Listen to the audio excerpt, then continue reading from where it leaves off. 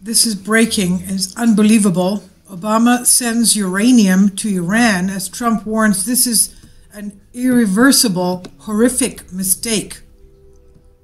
There are more ironies found in today's Iran deal news. First of all, Barack Hussein Obama, President of the United States, a lawyer himself, how could he call this a good deal when Iran never even signed it? So it's not a deal, it's not a, an agreement, it's not signed.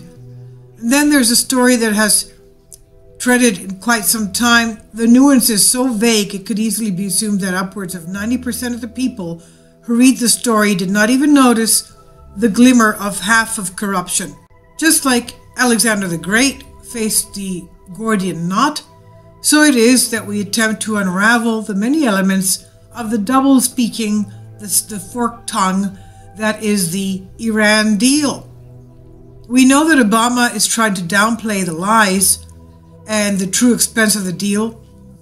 The amount being truly paid out, we will probably never know, but that's but the tip of the Pinocchio.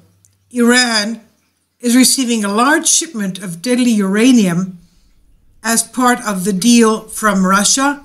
This is rich with irony for a number of reasons. First, Trump called the deal bad and one of the worst deals in US history. The media loves to attack Donald Trump for saying that he respects Putin, but they forget, and they always forget, that he also said that in no way did that mean that he agreed with Putin on any given issue. He just doesn't want to go to war with Putin or discover facts that seem to prove that Russia had no part in US election. It doesn't mean that Trump likes this deal seeing Russia sending uranium to Iran. It's just the opposite. Trump's feelings on Iran are well known. Now, point number two Iran says that it has no interest in developing nuclear weapons with deadly uranium. It's interesting because it makes one wonder why Russia would have agreed to the deal.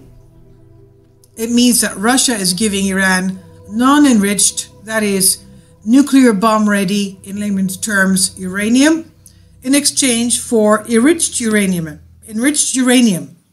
Now, for the fuel being used for a power plant, Iran does not yet have a power plant. They can store the uranium but most likely they will sell it. That's legal, and there is no law saying that Iran has to do either. Maybe they will simply enrich it again now that they have all of the gold and cash in place to easily make their mask their dishonesty in uh, all the course of uh, their uh, animosity towards America. Now Obama shows that he really screwed the Americans over with his deal. Putin was involved in governments like, of course, what he was like, the, a, a secret agent of the KG of uh, Russia. He was in the KGB at the time of the dreadful Chernobyl nuclear disaster that caused all those birth defects that are still going on today. They know that Iran is building an earthquake zone, which will likely cause a radioactive nightmare not seen since Fukushima, and is far better than Iran, that has less enriched uranium on hand when it happens. Now, the uh, of course, there are those who uh, cannot yet construct nuclear bombs, but they can attack them to explosives and send the health destroying, cancer causing radioactive toxins all over the area. These toxins would remain deadly for over four and a half billion years. four and a half billion years. Many fear that this kind of chicanery is what Iran has planned all along. The deal has set the stage for the world to see a nuclear disaster or attack that will make the Middle East and Northern Hemisphere glow like Hillary Clinton's firework display that was canceled. Every day we hear about billions in gold, billions in cash, uranium being delivered to some place or another and terrorists wanting to make a dirty bomb. They don't seem to grasp that even if they do nuke a land to take it over, the cancers from such an attack will kill the uh, practitioners and the infidels alike. So, what are they going to do after they have poisoned the land? The same holds true for Israel. If a full nuclear warhead was to hit Israel, As they blind, are they blind to the fact that there would be no Mecca, no land, because they're very close. All these locations are very close to each other. Everything would be poisoned. Life would not be able to to to exist there. Maybe various groups should spend less on quality video gear, and Black Hood spending a bit more on physics books to find out exactly what all this means. This is what makes Trump so very correct in his analysis of the Iran deal. If the rest of the world does not properly awaken to just what's happening, not only shall the irony be lost, but so shall all of us be lost. This is on Conservative Daily Post.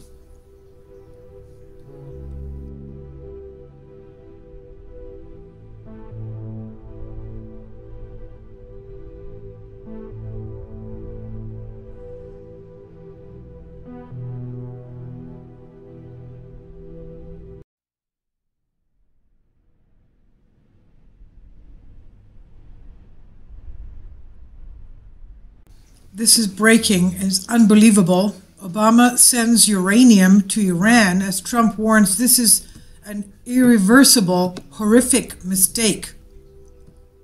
There are more ironies found in today's Iran deal news. First of all, Barack Hussein Obama, President of the United States, a lawyer himself, how could he call this a good deal when Iran never even signed it?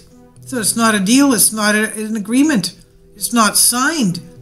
Then there's a story that has treaded in quite some time. The nuance is so vague it could easily be assumed that upwards of 90% of the people who read the story did not even notice the glimmer of half of corruption. Just like Alexander the Great faced the Gordian knot, so it is that we attempt to unravel the many elements of the double speaking, the, the forked tongue that is the Iran deal. We know that Obama is trying to downplay the lies and the true expense of the deal. The amount being truly paid out, we will probably never know, but that's but the tip of the Pinocchio. Iran is receiving a large shipment of deadly uranium as part of the deal from Russia. This is rich with irony for a number of reasons. First, Trump called the deal bad and one of the worst deals in US history.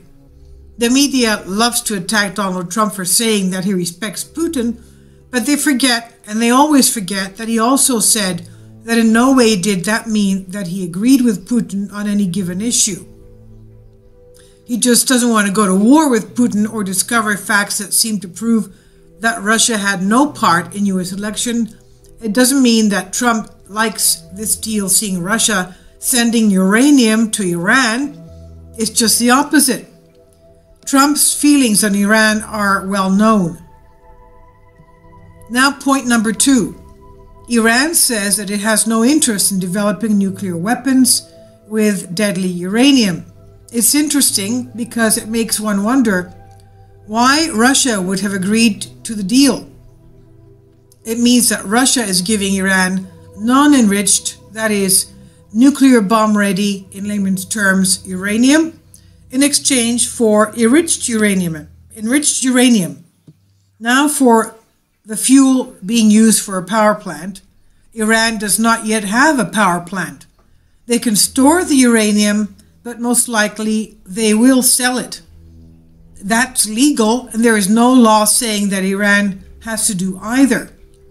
Maybe they will simply enrich it again now that they have all of the gold and cash in place to easily make their mask their dishonesty in uh, all the course of uh, their uh, animosity towards America.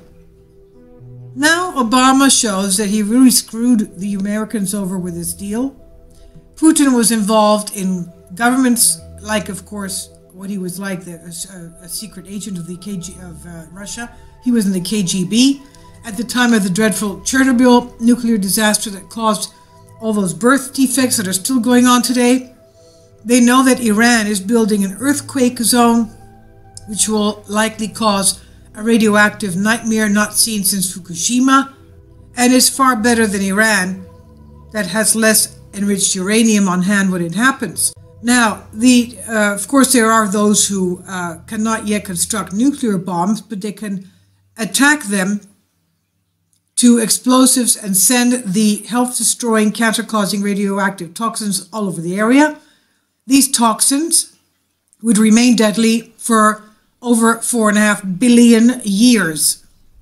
four and a half billion years. Many fear that this kind of chicanery is what Iran has planned all along. The deal has set the stage for the world to see a nuclear disaster or attack that will make the Middle East and Northern Hemisphere glow like Hillary Clinton's firework display that was canceled. Every day we hear about billions in gold, billions in cash, uranium being delivered to some place or another, and terrorists wanting to make a dirty bomb. They don't seem to grasp that even if they do nuke a land to take it over, the cancers from such an attack will kill the uh, practitioners and the infidels alike. So, what are they going to do after they have poisoned the land? The same holds true for Israel. If a full nuclear warhead was to hit Israel, as they blind are they blind to the fact that there would be no Mecca, no land, because they're very cl- all these locations are very close to each other. Everything would be poisoned. Life would not be able to to to exist there. Maybe various groups should spend less on quality video gear, and Black Hood spending a bit more on physics books to find out exactly what all this means. This is what makes Trump so very correct in his analysis of the Iran deal. If the rest of the world does not properly awaken to just what's happening, not only shall the irony be lost, but so shall all of us be lost. This is on Conservative Daily Post.